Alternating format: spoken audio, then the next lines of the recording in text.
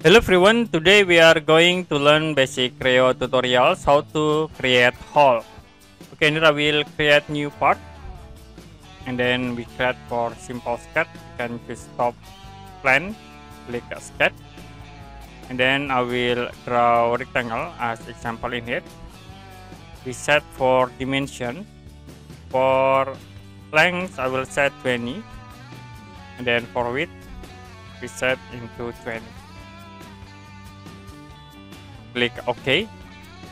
Now you can use extrude tools to convert into 3D and for extrusions in here I will set into 3 press enter click OK to apply. Now if you want to create holes in this object you can click at uh, this icon hole. And you can select press like I will select at this press. The next you can set for hole diameter I will set into 2 and then for distance you can click at uh, this icon. We set distance in here.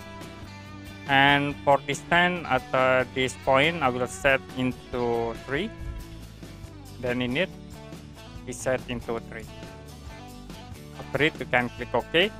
So it will be create new hole you can click at this icon to create holes and you can change slide into the other options. I will use a drill and then we create at uh, this face